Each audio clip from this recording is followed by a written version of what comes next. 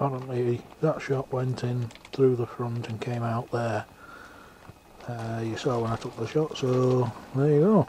Well dead. Okie doke. See you later.